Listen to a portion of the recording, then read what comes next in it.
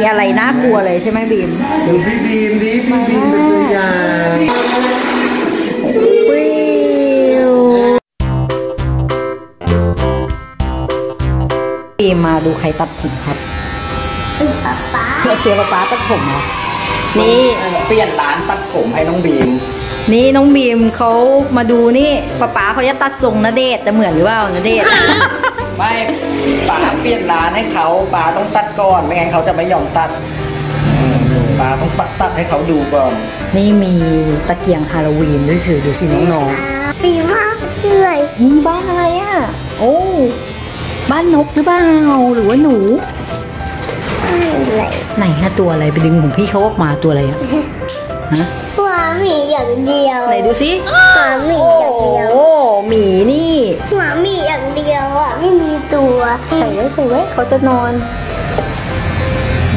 น้องบีมตัดผมเออเห็นแหไหมมน้องๆเห็นไหมน้องบีมเขาตัดผมไม่ร้องนะเป็นเพื่อนน้องบีมเจ็บด้วยเห็นไหมเวลามาตัดผมก็ห้ามร้องกันนะคะ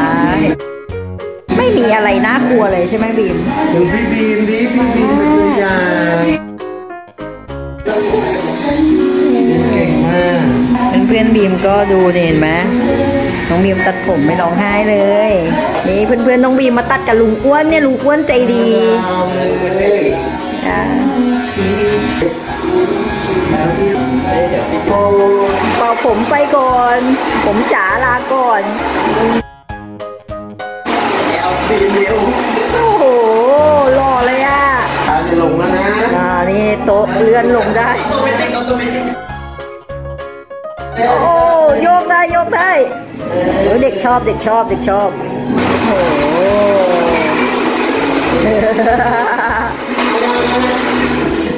ปิว มีโลกเลยเสร็จแล้วป๋ากับบีมเง่น้องๆเห็นไหมตัดผมต้องไม่ร้องแบบน้องบีร้านมนะช่างอ้วนข้างโรงเรียนสาธิตนะบายเสร็จแล้วกลับบ้านเนี่ยนี่นี่โลโก้เนี่ยโลโก้เห็นไหมช่างอ้วน